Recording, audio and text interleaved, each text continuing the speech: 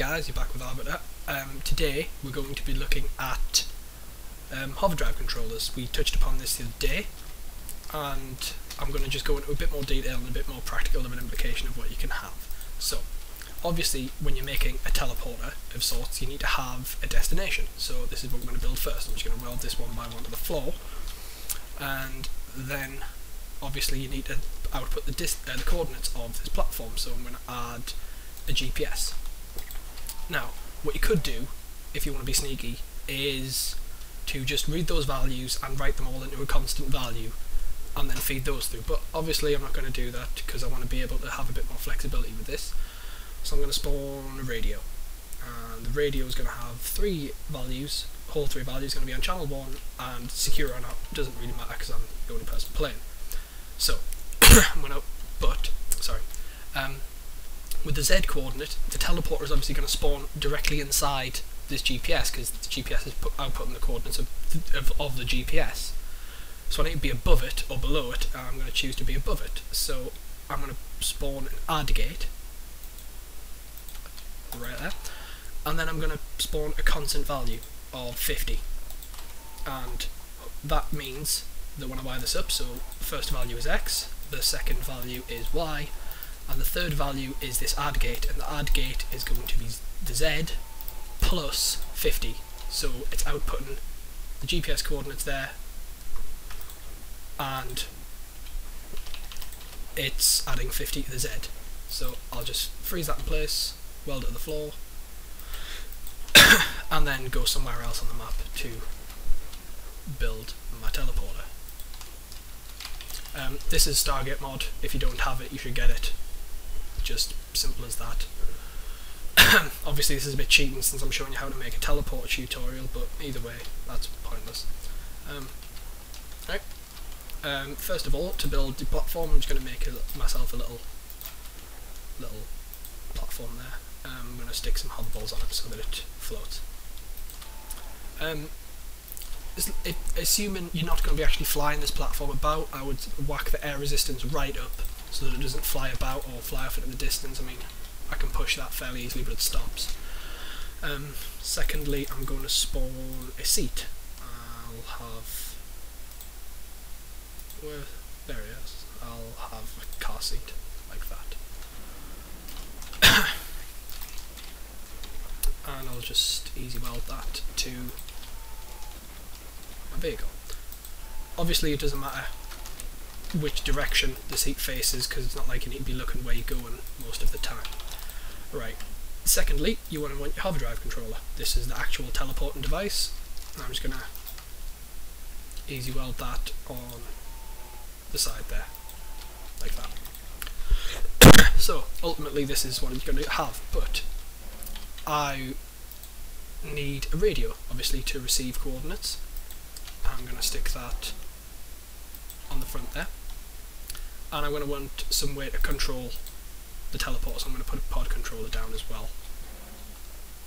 And I'm going to stick that there. Link that up. Right. so first of all, I'm going to set um, the jump button.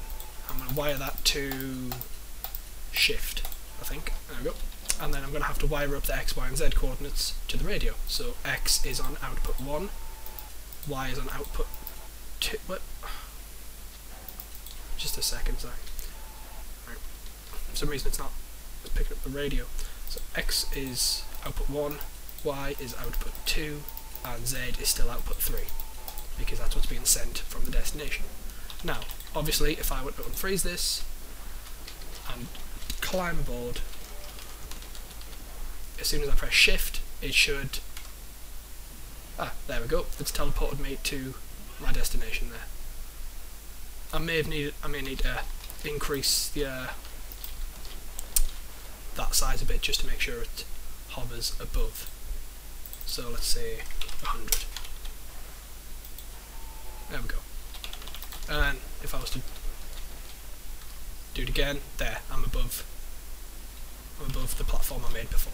Anyway, so that's that. What I am going to do now is, is add a bit more onto this something I like to do on Space Build most of the time, because it means I can travel from planet to planet.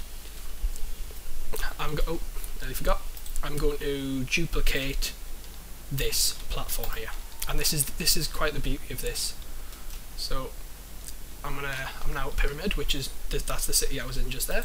I'm gonna spawn this again, but instead of I'm going to go into the radio and change the settings from channel 1 to channel 2. So it's now transmitting the coordinates on channel 2 of the same of output there.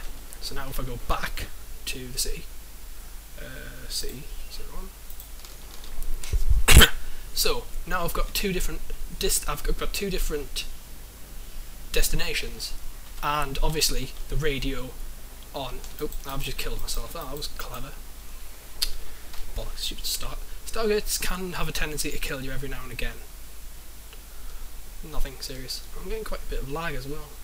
I guess that's probably the new map. But um, the, the whole reason I want a new map by the way which is um, Free Space 08 is just to demonstrate different locations because on flat grass it can be a bit difficult. Anyway so this is what we have now. Now I'm going to put in a screen and the screen is going to say channel.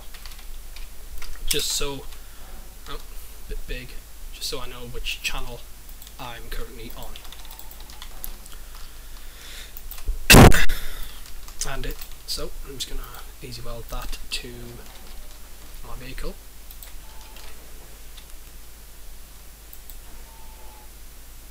just so I can see that and now now that's been welded. Sorry about the coughing, everybody. Um, right, if you look at a radio, you can see that besides the three inputs it has, it also has an input that says channel, and this selects which channel it is on, which means that you can change the channel it's on, which is understandable. So, first of all, I'm going to whack an accumulator down. Now, this and then a round gate because obviously accumulators don't put to whole values. So if, if I put a round gate down, they'll become whole numbers. Sorry, I had to clear my throat there. right, now, obviously, we want to be able to cycle up channels but also down them. So since the pod controller has only outputs of 1 and 0, I'm going to put an add gate down to account for two values and then a negate, sort of like the vehicle made the other day. So, there we have, I'm going to wire um, add up to W and negate up to S for forward and backwards, but in this case it's up and down, and then B up to the negate. And then it's, in, it's going to accumulate the add gate, and the round gate will round the accumulator. And now we're going to wire the, the channel up to the round, and the channel on the radio to the round gate. So at the moment the radio's on channel 0 and as you can see it's not getting any information, which makes sense. and just for ease sake, I'm also going to wire up the reset on the accumulator to R on the pod controller. So, everything messed up a bit there. Anyway. so now if I was to hold W, you can see the channel starts going up to wherever. But if I was to press S, it'll go down. If I was to press W again and then press R, it just resets to zero. So we know that channel 1 is that destination there. So press shift, there we go, we're above that, but we know that channel 2 is over there somewhere, and if I press shift, we're there now. And that you can, the beauty of this is you can just have that little device and you can just duplicate this, just even normal duplicator or advanced duplicator if you want to save it, and you can just spawn it somewhere else. And then all you have to do is change the channel of the radio to say channel 3 or 4 I've just put that on 4 just and you can do it in channel 4 and then you can just get in this and put it up to whatever whatever channel you want and you'll go there and that's just the beauty of this is that you can spawn as many of these little tiny little platforms you like you can even make them invisible or no collidable and then you can go wherever you like with oh killed myself. That was a good end of the video. So thank you for watching and I'll see you later.